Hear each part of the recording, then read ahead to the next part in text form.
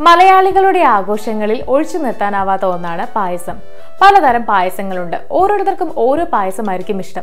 എന്നാൽ ഇന്ന് വളരെ എളുപ്പത്തിൽ തയ്യാറാക്കാൻ സാധിക്കുന്നതും വളരെ രുചികരവുമായിട്ടുള്ള ഒരു പരിപ്പ് പായസമാണ് നമ്മൾ പരിചയപ്പെടാൻ പോകുന്നത്. തേങ്ങാപ്പാലും ശർക്കരയും ഒക്കെ ചേർത്ത് തയ്യാറാക്കുന്ന രുചികരമായിട്ടുള്ള ഈ പായസം നമുക്കായി ഇന്ന് പരിചയപ്പെടുത്തുന്നു മീനാ ഭണ്ഡാരി.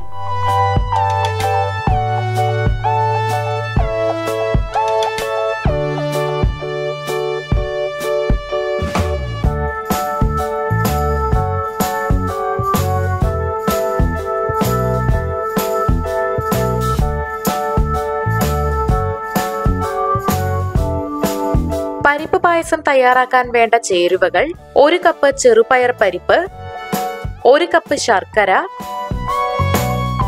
ഒരു ടീസ്പൂൺ നെയ്യ് ഒരു നുള്ള ഉപ്പ് അഞ്ചോ ആറോ ബദാം ആറു മുതൽ ഏഴ് വരെ കശുവണ്ടി എട്ടോ പത്തോ ഉണക്കമുന്തിരി ഒരു നുള്ള ഏലക്കാപ്പൊടി പത്തോ പന്ത്രണ്ടോ തേങ്ങാക്കൊത്ത് ഒരു ഗ്ലാസ് തേങ്ങാപ്പാൽ നാല് കപ്പ് വെള്ളം. ഇനി ഇത് തയ്യാറാക്കുന്നത് എങ്ങനെയാണെന്ന് നോക്കാം. അതിനായി ഒരു പാൻ എടുക്കുക. അതിലേക്ക് ചെറുപയർ പരിപ്പിട്ട് നന്നായി വറുത്തെടുക്കാം. മൂന്ന് നാല് മിനിറ്റ് ഇത് വറുത്തെടുക്കണം. എന്നിട്ട് ഇത് ഒരു പ്ലേറ്റിലേക്ക് എടുത്തു മാറ്റാം. ഇനി ഇതേ പാനിൽ നെയ്യ് ഒഴിക്കുക. ഇതിൽ എടുത്തു വെച്ചിട്ടുള്ള ബദാം വറുക്ക. ലൈറ്റ് ബ്രൗൺ നിറമാകുമ്പോൾ ബദാം ഒരു പാത്രത്തിലേക്ക് എടുക്കാം. ഇനി ഇതിലേക്ക് അല്പം കശുവണ്ടി ഇട്ട് അതും വറുത്തെടുക്കുക. സ്വർണ നിറമായി കഴിഞ്ഞിട്ടുണ്ടെങ്കിൽ ഇതും പ്ലേറ്റിലേക്ക് മാറ്റാം. ഇനി ഉണക്കമുന്തിരിയും ഇതുപോലെ തന്നെ വറുത്തെടുക്കുക.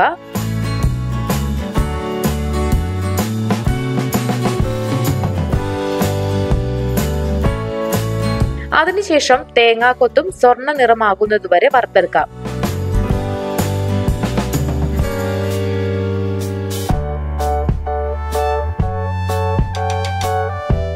ഇനി ഇതേ പാനിൽ വറുത്തു വെച്ചിട്ടുള്ള ചെറുപയർ പരിപ്പിട്ട് നന്നായി ഇളക്കി യോജിപ്പിക്കുക.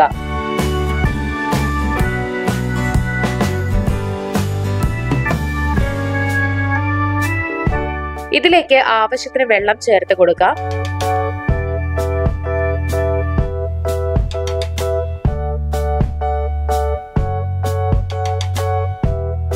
വെള്ളം ചേർത്തതിന് ശേഷം ലിഡ് അടച്ച് തിളപ്പിക്കാൻ വെക്കാം. രണ്ട് വിസിൽ കേൾക്കുന്നത് വരെ ഇത് വേവിക്കണം. വെന്ത് കഴിഞ്ഞിട്ടുണ്ടെങ്കിൽ ലിഡ് തുറന്ന് പരിപ്പ് നന്നായി വെന്തോ എന്ന് നോക്കാം. ഇവിടെ നന്നായി വെന്ത് പാകത്തിനായിട്ടുണ്ട്. ഇനി ഇതിലേക്ക് ശർക്കര ചേർത്ത് നന്നായി ഇളക്കി യോജിപ്പിക്കുക. ഇതും ആവശ്യത്തിന് തിളപ്പിക്കണം. ശർക്കര നന്നായി ഉരുകി വരുന്നത് വരെ തിളപ്പിക്കണം. ഇവിടെ ഉരുകി വന്നിട്ടുണ്ട്. ഇനി ഇതിലേക്ക് തേങ്ങാപ്പാൽ ചേർക്കാം. എന്നിട്ട് നന്നായി ഇളക്കി യോജിപ്പിക്കുക.